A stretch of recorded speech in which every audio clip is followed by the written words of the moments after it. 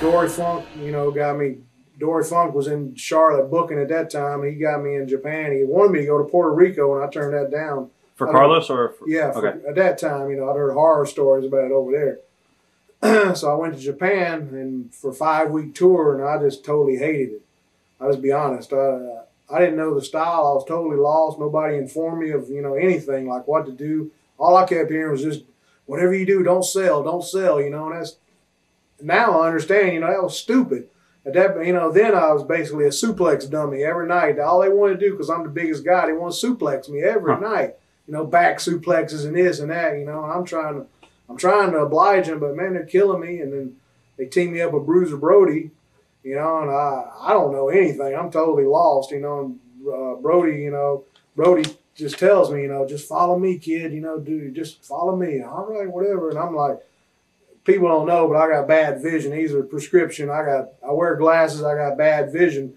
So I, we, the his music thing starts or whatever, and uh, we head out to the ring, you know, and I'm like, and I, I don't even know how he, Huh. where he goes. I'm like, I'm looking to the ring because all the lights are on us, you know, and I'm just trying to find my way to the ring half the nights. People don't know that, but it's Wow. the truth. That's why I started wearing, you know, I started as a one man gang. I put on glasses I can see, you know, until I take them off.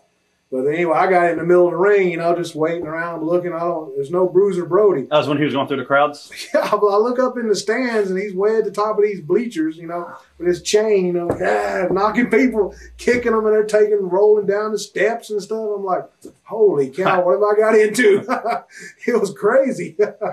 and man, he he was a machine. People, you know, people now probably can see him on video from Japan, but yeah, he was a machine uh, c- compared to the way you see him in the states, Russell. Right. He didn't have that in the states. You know, he didn't have that same same ability to be wide open. You know what I'm saying? Right, right. His But characters. over there, man, he, he was drop kicking them and I mean leapfrogging them, and I mean he was earning big money for it. Now, don't get me wrong, but I mean he was a machine. He could go like you wouldn't believe. What was he like outside the ring, Brody? Brody was really nice guy. To me, he was a really nice guy. I mean, family guy.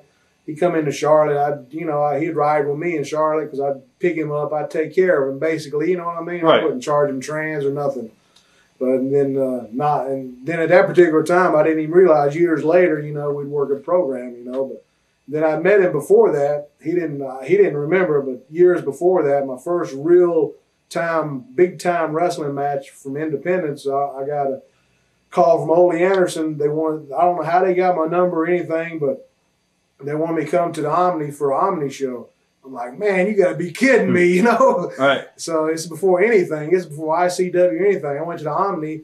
Ended up, uh, they put me under a mask as some Blue Avenger and put me against Bruiser Brody. Wow. Yeah. And Bruiser Brody just cleaned my clock. Basically, oh, Right. it was just a, I'm just a dummy for him. You know, I, I'm out there, he's stomping me and doing this and But he took care of you, though, right? Oh yeah, oh. he took. I mean, he took care of me. It was about a seven minute match. Ended up with the big boot and the big high knee drop, you know, for the pin, of course. You know, we went outside the ring. He pounded me with chairs, basically whole Bruiser Brody style, because it was bringing him into Atlanta. You know, and that's Building they, him up. They want to build him up. But years later, you know, who would think years later?